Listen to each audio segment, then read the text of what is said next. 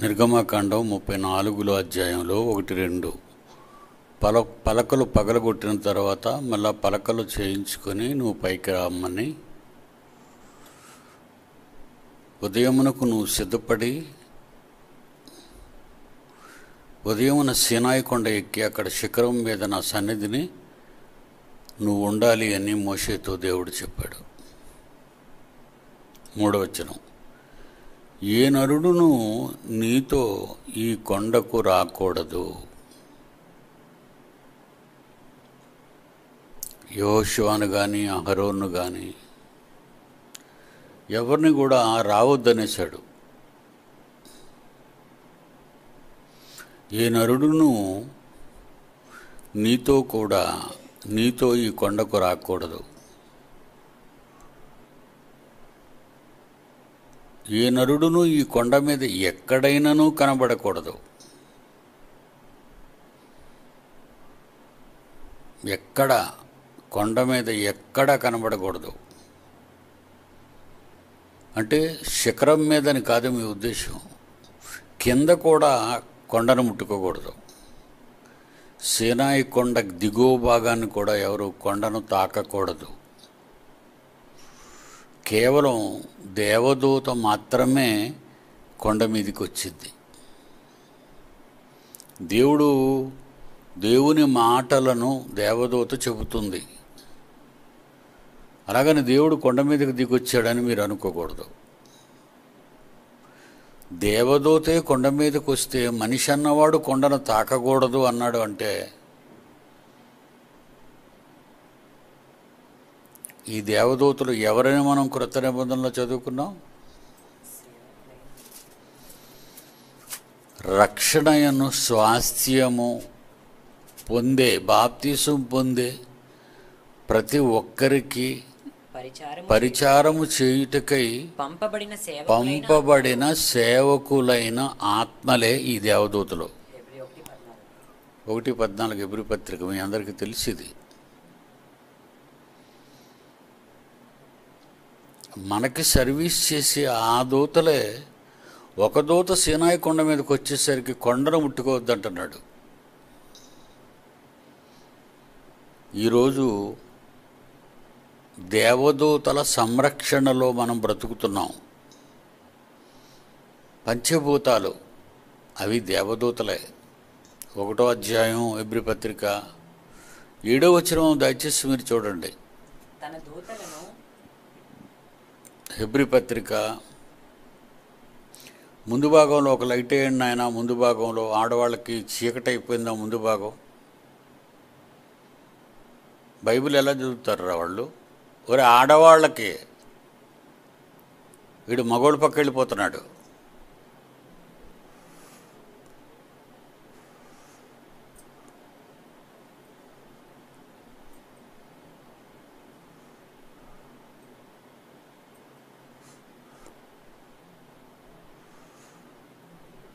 ఎవరు చెప్పారు ఎట్టెళ్ళమని ఆ పక్క లైట్లు వెలగవా? ఈ లైట్ ఆరిపేస్తున్నాడు వీడు రారా బాబు ఎవడో రండిరా? తెలిసినోడు రండిరా? ఆ టైప్ చేస్తున్నాడు స్విచ్ల్ని. బల్బులు లేవు. ఎవరా జాన్సన్? వీడు బల్బు బల్బులు పెడుతుంటాడట ఎవరో తీసుకెళ్ళిపోతున్నారని చెప్తాడు. నమ్ముతారా మీరు?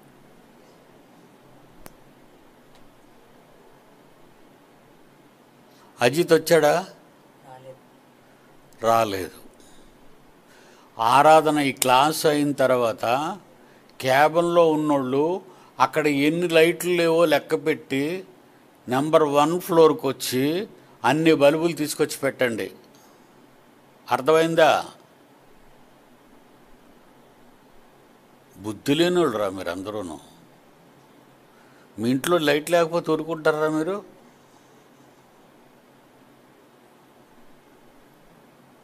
చే మీరిద్దరు కూడానా? ప్రసాదును ఫ్లోర్ ఇన్ఛార్జ్ ఎవరు? నువ్వు ఫ్లోర్ ఇన్ఛార్జివి ఫ్లోర్లో ఎక్కడ ఫ్యాన్లు తిరుగుతున్నాయి ఎక్కడ లైట్లు వెలుగుతున్నాయి నువ్వు చూడవు ఆడవాళ్ళు ముందెళ్ళండి తర్వాత మగవాళ్ళు ఇవి చెప్పడానికి మాత్రం మీరు అక్కడ ఉన్నారు. వచ్చిన వాళ్ళందరికీ డ డింకీ శాలంలో కొట్టుకొని. కూర్చోండి.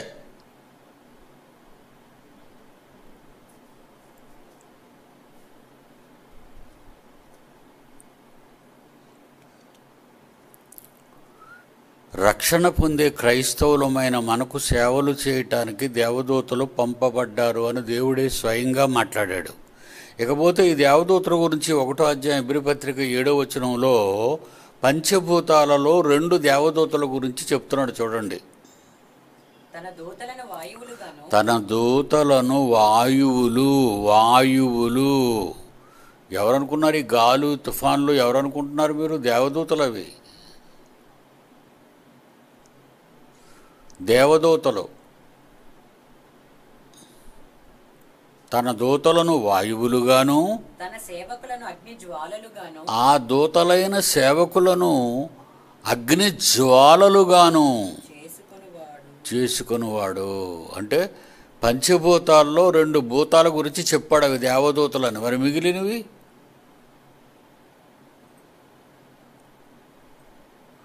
ఐదేంటి పంచభూతాలు? గాలి అగ్ని ఉంది ఇక్కడ. తర్వాత నింగి నేల నీరు. ఇవన్నీ దేవదూతలు. ఇప్పుడు మనకు సర్వీస్ చేస్తున్నాయి అవి. తెలుసు కదా మీకు? మనకి పని చేస్తున్నాయి అవన్నీ. ఎందుకు?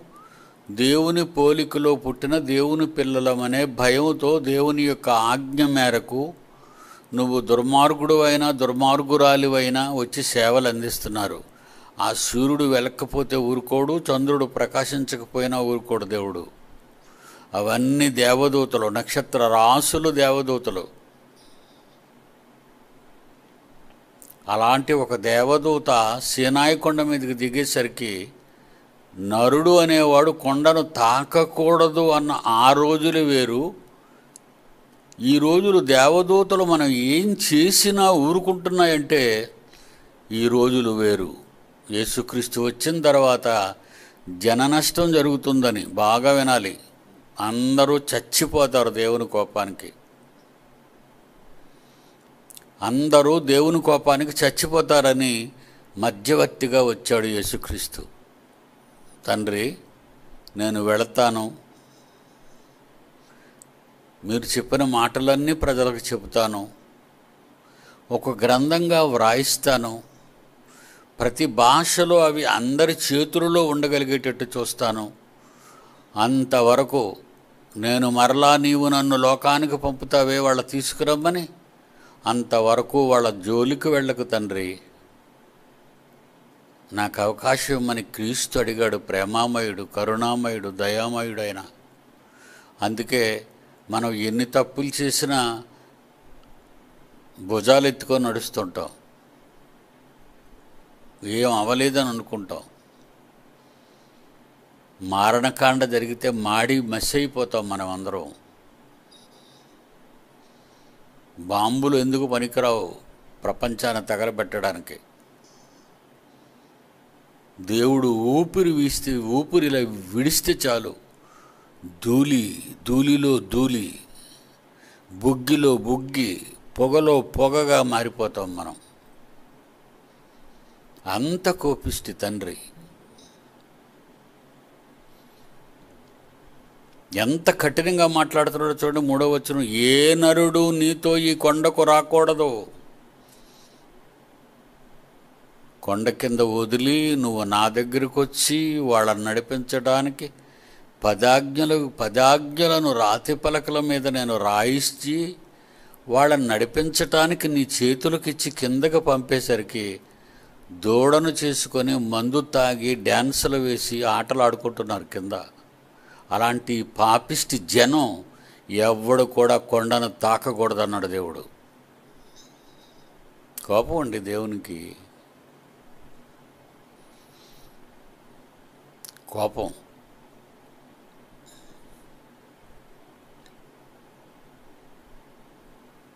అంతేనా? నాలుగో వచనం. మూడో వచనం చివరిలో ఏ నరుడును ఈ కొండ మీద ఎక్కడైనను కనబడకూడదు. ఈ కొండ ఎదుట గొర్రెలైనను ఎద్దులైనను మేయకూడదని సెలవిచ్చెను. గొర్రెలు కానీ ఎద్దులను కానీ మేపుతున్న ఇస్రాయేలీల్లో ఏ గొర్రె కూడా తాకకూడదట కొండని ఏ ఎద్దు కూడా తాకకూడదట. అంత భయమా అంత భయమా దేవదూత అంటే మాడి మసి అయిపోతారు ఎందుకంటే తప్పు చేశారు కనుక మండిపోతుంది దేవుడికి. తప్పు చేసిన వారందరి మీద మండిపోతాడు దేవుడు. భయం లేదు దేవుడు అంటే భయం లేదు జనానికి.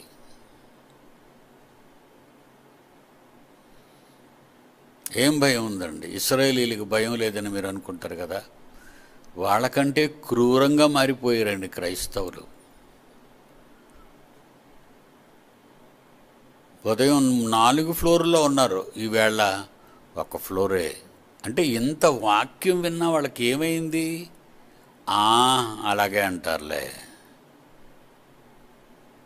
ఎంత నిర్లక్ష్యం చూసారా దేవుడు అంటే వాళ్ళకి?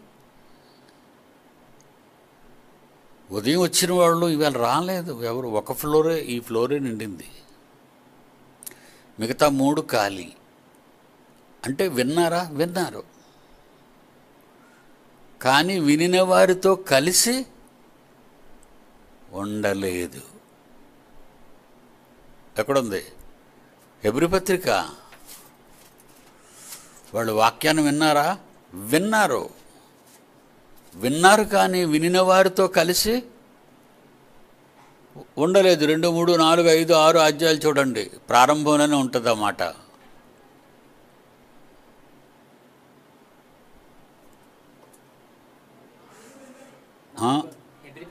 ఎబ్రి పత్రిక నాలుగవ అధ్యాయము రెండవ వచనం. ఎబ్రి పత్రిక నాలుగో అధ్యాయం రెండవ వచనం. ఎవరికి ఇస్రాయేలీలకు ప్రకటించబడినట్లు క్రైస్తవునమైన మనకును అవే మాటలు చెబుతున్నప్పుడు ప్రకటింపబడిన గాని మనకు కూడా ప్రకటించబడ్డది వారితో వాళ్ళు వినిన వారితో విశ్వాసము గలవారి కలిసి ఉండలేదు గనుక విన్న వాక్యము వాళ్ళకు నిష్ప్రయోజనం నిష్ప్రయోజనం నిష్ప్రయోజనం. ఉదయం వచ్చిన వాళ్ళందరికీ విన్న వాక్యం ఏమైంది? నిష్ప్రయోజనం. వదిలేస్తాడా దేవుడు నిన్ను? ఎవరికైనా బాగులేకపోతే ప్రార్థించమని వస్తావా? ప్రార్థించమని మెసేజ్లో పెడతావా? మా ఇంట్లో మావిడికి బాగోలేదండి ప్రార్థన చేయండి అని గ్రూపులో మెసేజ్లు పెడతారా? ఎందుకు చేయాలి ప్రార్థన? ఎందుకు చేయాలి? చెప్పండి మీరే న్యాయం చెప్పండి. అందుకే ఎవరి మాట వినండి చచ్చేవాళ్ళు కుళ్ళు కుళ్ళి చావాలి అలాగే చూస్తుంటాడు వాళ్ళని. వాళ్ళు బాగుపడరు ఇక వాళ్ళ బ్రతుకుల్లో బాగుపడరు. కొళ్ళబెట్టి కొళ్ళబెట్టి చంపుతాడు.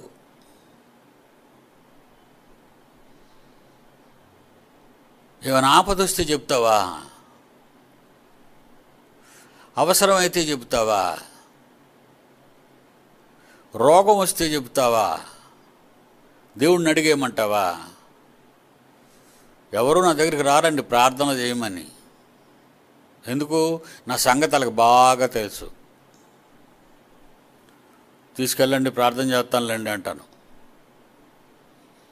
ఎందుకు? అవసరానికి దేవునికి పనికిరారు. వారి వలే మీ మీకును క్రైస్తవులైన మీకును సువార్త ఇస్రాయేలీలకు ఎలాగైతే మోషే ద్వారా ప్రకటించబడిందో దేవుని మాటలు మనకును సువార్త సువార్త ప్రకటింపబడును. సువార్త అంటే మంచి మాటలు. క్రీస్తు మరణ సమాధి పునరుద్ధానానికి సంబంధించిన ముప్పై తొమ్మిది పుస్తక ఇర ఇరవై ఏడు పుస్తకాలలో రాయబడింది క్రొత్త నిబంధన. వారికి ముప్పై తొమ్మిది నీకు ఇరవై ఏడు. వారికి ప్రకటింపబడింది. నీకు ప్రకటింపబడింది. కానీ వాళ్ళు ఏమయ్యారో తెలుసా? కానీ వారు వినిన వారితో కలిసి ఉండలేదు. విశ్వాసము గలవారై విశ్వాసము గలవారై కలిసి ఉండ నమ్మకం లేదు. విశ్వాసం అంటే నమ్మకం నమ్మకం లేదు. వాక్యం మీద వాళ్ళకి నమ్మకం లేదు. ఎందుకంటే ఈవినింగ్ షికార్లో వెళ్ళాలి కదా ఆదివారం. Sunday evening. ఎండాకాలం షీషోరు సినిమాలు టీవీలు చుట్టాలు పట్టాలు.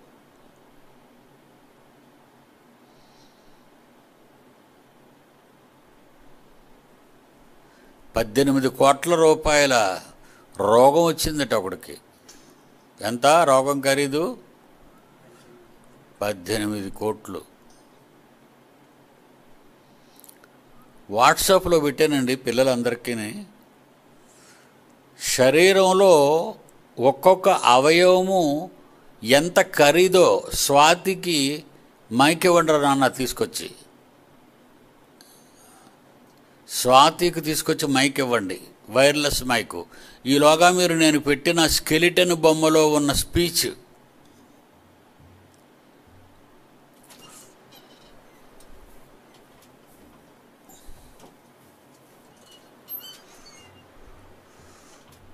స్కెలిటన్ బొమ్మ ఉంటుంది మీకు పంపించాను. మన పిల్లలు పనిచేస్తున్నప్పుడు అందులో కలిపి పెట్టాను. ఆ బొమ్మ ఇరా ఒకసారి. రేట్లు చెప్తున్నాడు. కళ్ళు రేట్ ఎంత? కిడ్నీ రేట్ ఎంత? గుండె రేట్ ఎంత? కాలేయం రేట్ ఎంత? రేట్లు. అది ఒకవేళ రిపేర్ వస్తే బాగు చేయటానికి. దొరికిందా నాన్న?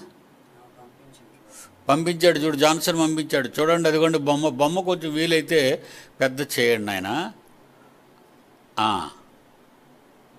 కొంచెం కొంచెం వేసి ఆపండి అక్క చదువు చెబుతుంది ఆ భాష విని చెబుతుంది अगर ఆ, कोई इंसान अपने सभी बॉडी पार्ट्स बेच देता है तो उसे कितने रुपए मिल जाएंगे चलिए ऊपर से शुरू करते हैं सबसे पहले आता है आपका दिमाग जिसकी कीमत होती है पांच करोड़ फिर आती है आपकी दोनों आंखें जो करीब दो लाख में निकल जाएंगी उसके ఆపు ఆపు రేటు చెప్పగానే ఆపు స్ట- స్టడీలో ఉండండి सभी बॉडी पार्ट्स बेच देता है तो उसे कितने रुपए मिल जाएंगे चलिए ऊपर से शुरू करते हैं सबसे पहले आता है आपका दिमाग जिसकी कीमत होती है पांच करोड़ ప్రతి కళ్ళు ఎంత ఖరీదట నువ్వు మైక్ మూతి దగ్గర పెట్టుకో మెదడు ఐదు కోట్ల రూపాయలు మెదడు ఐదు కోట్లు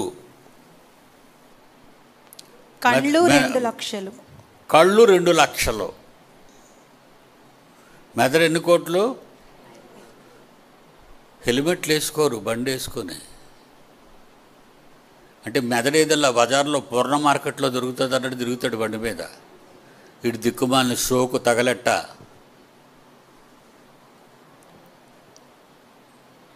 మెదడు ఎంత ఖరీదు? రాసుకోండి తెలుగులో మీరు నోట్స్లోను. మెదడు ఖరీదు. ఐదు కోట్లు. ఏ మగవాళ్ళు ఎవరు రాయరా? మీరందరూ సైంటిస్టులు అయిపోయారు కదా. మీరందరూ సైంటిస్టులు.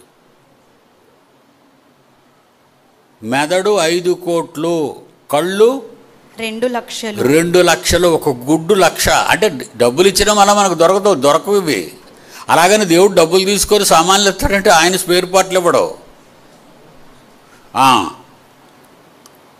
ఆ, आती है आपकी दोनों आंखें जो करीब दो लाख में निकल जाएंगी आई उसके कोई बाद नहीं ना आते दी। हैं आपके दांत जो सिर्फ पंद्रह हजार के होते పళ్ళు పదిహేను వేలు ఏటివమ్మా పండ్లు పళ్ళు పళ్ళు ఎంతటా పదిహేను వేలు పదిహేను వేలు మొన్న ఒక ఆవిడకి పళ్ళు వేయించాను పన్నెండు పళ్ళు వేయించాను ఉన్న పళ్ళు ఉన్న పళ్ళు ఉన్నాయండి ఉన్న శుభ్రంగా అరగొట్టేశారు అవి. ఆ లోపల భాగం అంతా కుళ్ళిపోయింది ఆవిడికి పన్నెండు పళ్ళు వేయించాను. నిన్ను ఎంత తీసుకున్నాడో తెలుసా నా దగ్గర? లక్ష. నయమే ఈడెవడో రేటు మంచి రేటు చెప్తున్నాడు. పది రిపేర్ చేయడానికి కొత్త పళ్ళు వేయటానికి నకిలీ పళ్ళు నకిలీ పళ్ళు వేయటానికి లక్ష రూపాయలు లక్ష ముప్పై వేలు అడిగాడు. నా పేరు బట్టి నాకున్న దీన్ని బట్టి ఆ కుర్రోడికి నా మీద ఉన్న గౌరవాన్ని బట్టి ఆ డాక్టరు ఎవరో కాదు మన షేబా తమ్ముడు డెంటిస్ట్ ఆయన లక్ష రూపాయలు తీసుకున్నాడు. ఇంతేనా? అంటారా? బాక్సింగ్లో నేర్చుకున్నారు వెళ్ళి పళ్ళు ఓడగొట్టేస్తారు ఈ మగ్గొంటలు తిన్నగుండరు. కరాటే అంటారు బాక్సింగ్ అంటారు గుడ్డు పగలు కొట్టుకుంటారు మూర్ఛత కొట్టుకుంటారు ముక్కు పగలు కొట్టుకుంటారు చప్పుడు అయిపోయి. పళ్ళు పదిహేను వేలు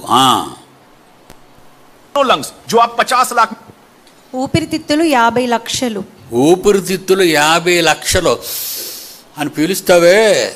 ఊపిరితిత్తులు. చీపురెట్టుకొని ఓ తుడుస్తావు దూలంతా మింగెత్తుంటే అమ్మా మూతికి గుడ్డ కప్పు అంటారు అందరికీ. వినరు మన మాట వినరు. ఊపిరితిత్తుల ఖరీదంతా? అక్కడ ఉందో చూడండి బోర్డు మీద నువ్వు చెప్పమ్మా. యాభై లక్షలు. యాభై లక్షలు. రాసుకున్నారా? అంటే మీరు సామాన్లు కొనుక్కునేటప్పుడు దేవుడు కనుక నీకు యాభై లక్షలు వేశాడు. మనుషులైతే యాభై కోట్లు అంటాడు వీడు వ్యాపారం కదిడిది డాక్టర్లు వ్యాపారం. తర్వాత దిల్ జో ఆట్ కరోడ్ కా గుండె ఎనిమిది కోట్ల రూపాయలు. మన గుండెకాయ ఉందా? ఎనిమిది కోట్లు. గుండెకాయ ఎంత? ఎనిమిది కోడి గుండెకాయ మేక గుండెకాయ కాదు. మన గుండెకాయ ఎనిమిది కోట్లు ఎనిమిది కోట్ల రూపాయలు ఆ, पर जो कि 5 करोड़ में निकल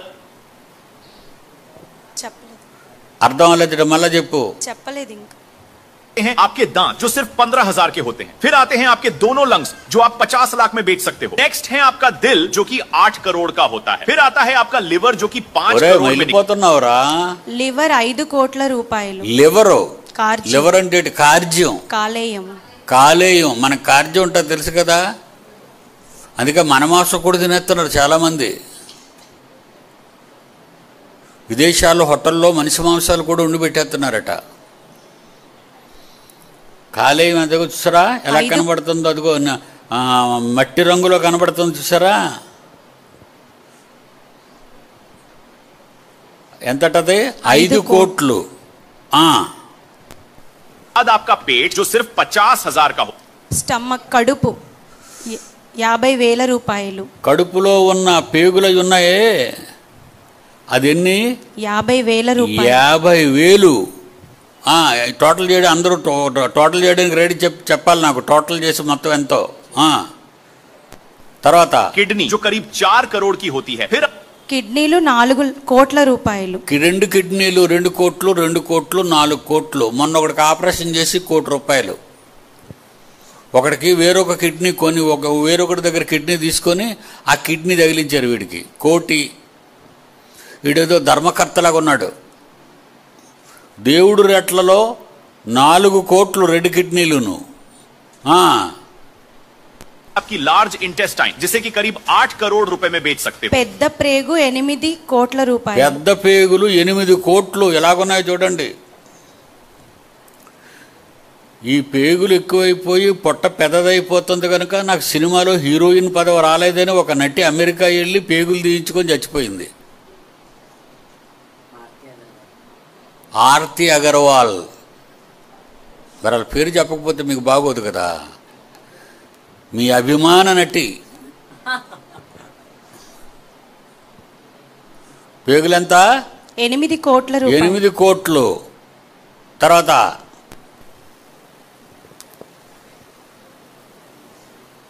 అయిపోయిందా? బొమ్మ బొమ్మలు చేసేయి. ఇప్పుడు టోటల్ ఎంత చెప్పండి? అమ్మాయికి తీసుకొచ్చారా?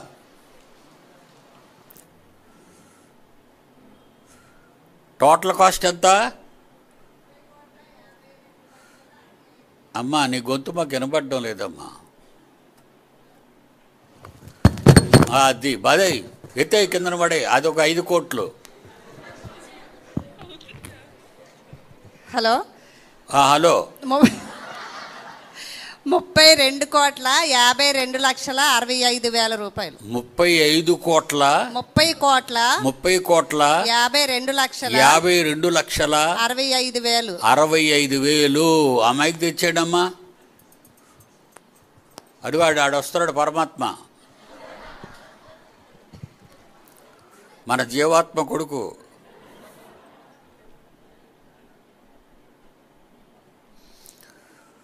స్నానం చెయ్యరు పళ్ళు దోమరు జుట్టుకు నూనె రాయరు. ఏంటి ఇవన్నీ ఊరకే వచ్చాయి అనుకుంటున్నారు వీరు. ఇవన్నీ దేవుడు తన జ్ఞానము చేత చేసి మనిషి రూపాన్నిచ్చి అలాగే మనిషి కనబడితే ఎవరు ఎవరు మాట్లాడుకోరు ఎవరికెవరు కనబడరు. చక్కగా చర్మముతోనూ ఎముకలతోనూ ఆ గూడుని తిన్నగా నిలబెట్టి దేహాన్ని ఇస్తే ఈ దేహాన్ని ఎలా పాడు చేసుకుంటున్నారో మనుషులందరూ చూశారుగా అప్పుడు మీరు?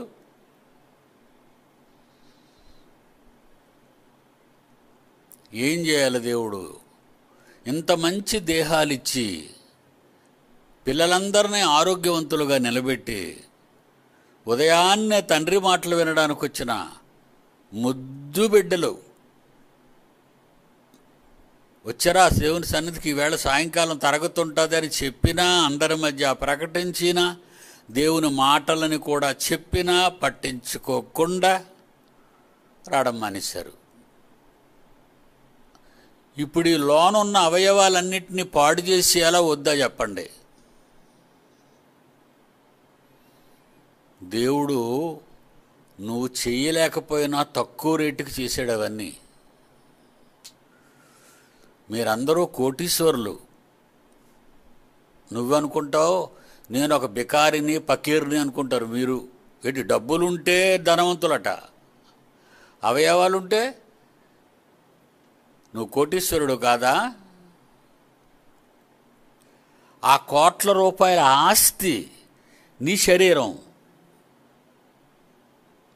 ఆ కోట్ల రూపాయల ఆస్తే నీ శరీరం దాన్ని ఎలా కాపాడుతున్నావు? మంది అవుతున్నావా బీడి తాగుతున్నావా?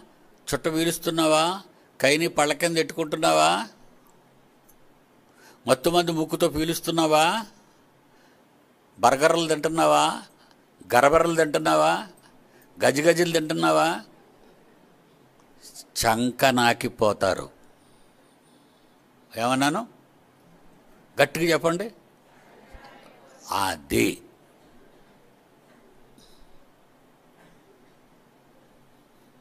కోట్ల రూపాయల ఆస్తి దేవుడు నీకిచ్చి ఆ అందమైన బొమ్మను నా కోసం పనిచేయరా నా మాటలు వినరా నాతో కలిసి ఉండరా? దీనికంటే గొప్ప శరీరాన్ని ఒకటి నేను తయారు చేస్తున్నాను రా అది కోటాను కోట్లు కోట్లు కోట్లు కోట్లు ఖరీదైన శరీరాన్ని మీకోసం తయారు చేస్తున్నాను రా అన్నాడు దేవుడు. రెండవ కోరింది ఐదో అధ్యాయం. కొరిందీలకు రాసిన రెండవ పత్రిక ఐదవ అధ్యాయం. ప్రారంభం నుంచి భూమి మీద మట్టితో చేయబడిన గుడారమైన ఈ నివాసము ఒకనాటికి శిథిలమై మట్టిలోకి పోయిన చేతి పని కాక మనుషుడు చేతితో చేసినది కాక దేవుని చేత కట్టబడినది. దేవుని చేతులతో చేయబడినది నిత్యమైనదియునైన పరలోక నివాసము. పరలోకమందు మనకున్నదని ఎరుగుదు నీకు అక్కడ ఉంది నీకు బొమ్మను చేశాను. అది అందమైన బొమ్మ. ఇక్కడ ఈ బొమ్మను పాడు చేసావు అనుకో అక్కడ నీకు బొమ్మ లేకుండా పోతుంది ఇక్కడ నీకు బొమ్మ పడిపోతుంది. అర్థమైందా? నమ్ముతారా నన్ను? నమ్మరా? ఇలా ప్రపంచంలో ఎవడు వాక్యం చెప్పడండి. దేవుడు మిమ్మల్ని దీవిస్తాడో దేవుడు మీకు ఆస్తులు ఇస్తాడో దేవుడు మీకు పిల్లలు ఇస్తాడో దేవుడు మేము ఇదేనండి. ఎవరికైనా ఏదైనా పోయగల ఉంది అందరూ రండి. ఎవరికైనా ఎక్కడికైనా రోగం ఉందా? ఎక్కడ రోగం ఉంటే అక్కడ చేయేసుకోండి. వీడు ప్రార్థన చేస్తాడట మీకు రోగం పోద్దట. దొంగ భక్తులున్న ఈ లోకంలో దొంగల్నే నమ్ముకుంటున్నారు ఇవన్నీ కూడా. వాళ్ళు బాగుపడరు. నిజంగా చెప్తున్నానండి మీరు రాసుకోండి. వాళ్ళు బాగుపడరు. నాశనానికి పోయే తోవలో పోతుంటారు వాళ్ళు. కోపగించిన దేవుడు ఆనాటి ఇస్రాయేలీలను కొండ తాకకూడదు ఎవడైనా అన్నాడంతే. మీరు దుష్టులు రా మీరంతా. రమ్మన్నా రారరా మీరు. మీకు చట్టాన్ని ఇద్దామని మోషేని తీసుకెళ్ళి నలభై రోజులుంటే బొమ్మని చేసుకొని గెత్తుతారా అక్కడ? అంతటితో ఊరుకున్నాడా?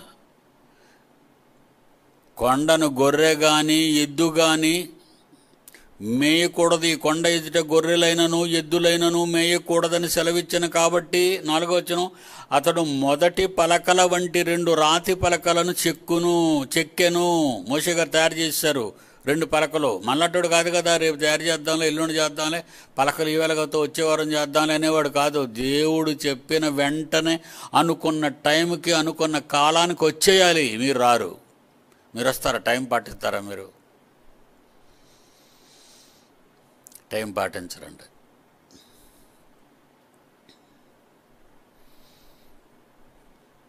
రెండు రాతి పలకలను చేత పట్టుకుని సోన సీనాయి కొండ ఎక్కగా? మోషే ఐదో వచనం. మేఘములో యుహోవా దిగి అక్కడ అతనితో నిలిచి యుహోవాను నామము ప్రకటించెను.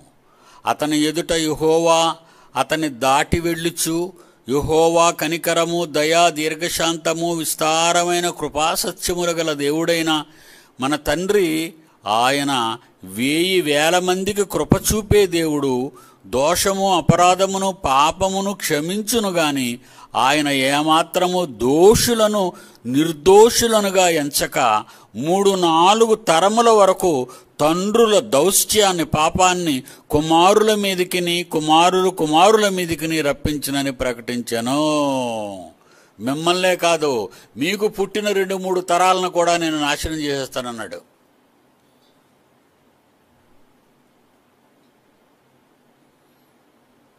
పగ. పగర్రా. దేవుని కోపం అది. నాకైనా అంతకంటే ఎక్కువ ఉంటుంది. నాకు కూడా అంతకంటే ఎక్కువ బాధ ఉంటుంది.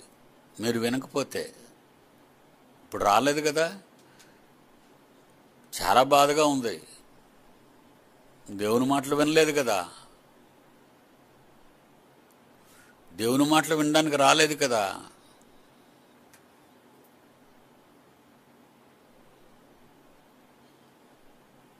ఎంతవరకు ఉంటుందని అడిపగా ఈ పగ? అతని యుహోవా అతని అతని దాటి వెళ్ళుచు యుహోవా కనికరము దయా దీర్ఘశాంతము విస్తారమైన కృపాసత్యములు గల దేవుడైన యుహోవా ఆయన వేయి వేల మందికి కృప చూపుచు నీకు దోషమును అపరాధమును పాపమును క్షమించును గాని.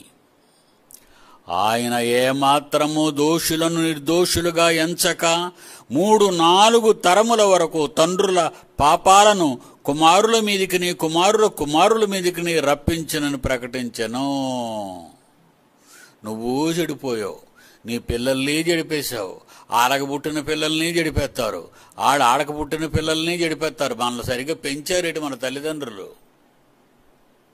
ఏమంటే మా అమ్మ నాన్న నన్ను బాగా పెంచారండి. అందుకే వాళ్ళ తరము నా తరము నా పిల్లల తరము నా పిల్లల పిల్లల తరం వచ్చింది ఇప్పుడు. నేను ముత్తాతనయ్యాను. ముత్తాతనై బాగా ఉన్నాను కదండి నేనేమైనా నష్టపోయానా? ఏమైనా నాలుగు తడబడుతుందా? నత్తిగా ఏమైనా మాట్లాడుతున్నానా? అక్కడ ఎవరు కూర్చున్నారో నేను ఇది చూస్తున్నానా గుడ్డిగా? అన్ని అవయవాలు చక్కగా నా కిడ్నీలు బాగున్నాయి నా గుండె బాగుంది నా లివర్ ఫంక్షనింగ్ బాగుంది. అన్నీ బాగున్నాయి. అన్ని అవయవాలు బాగున్నాయి. ఈ మధ్యన ఎవడో కూడా పుట్టించాడట. జైశాల్ పీడి సుందర గారి క్యాన్సర్ అని. ఆడిపోయే కాలం బో ఆడేటి నా మీద పడ్డాడు.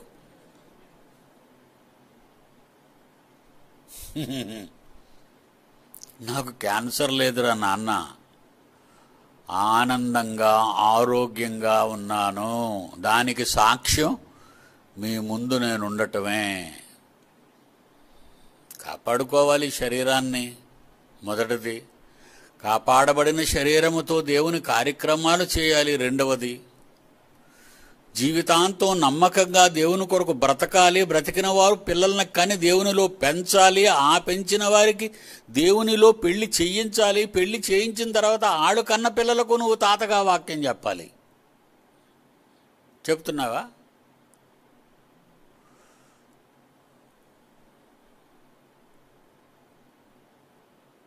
ప్రసన్నబాబు కొడుకు ఆ ఆ ఫోటో ఎవరి దగ్గర ఉన్న స్టూడియోలో ఉన్నటువంటి వాళ్ళకి పంపించడమ్మా.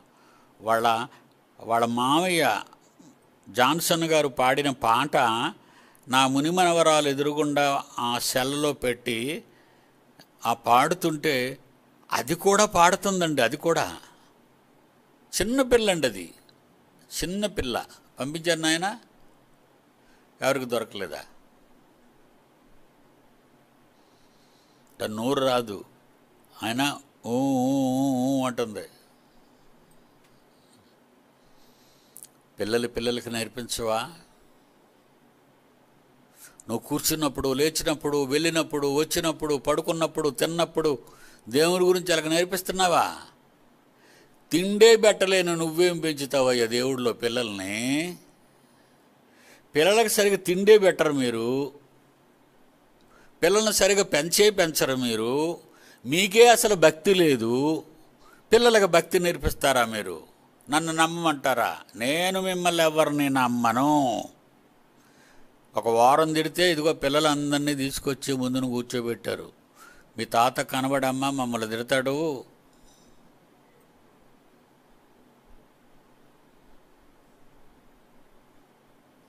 మీరేం బాగుపడతారు చెప్పండి. అరే నాన్న గేటు దగ్గర ఎవరో ఉన్నారో వెనక్కి చూడండి కొంచెం. ఆ గేటు దగ్గర నానిగాడు ఉన్నాడా? అదిగో వచ్చాడు చూడండి గేడు తీసుకొని. నువ్వు మమ్మల్ని చూస్తున్నావు.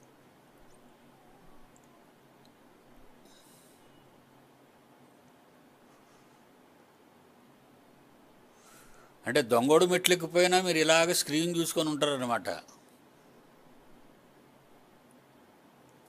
నమ్మకమైన సేవకులండి వీళ్ళు.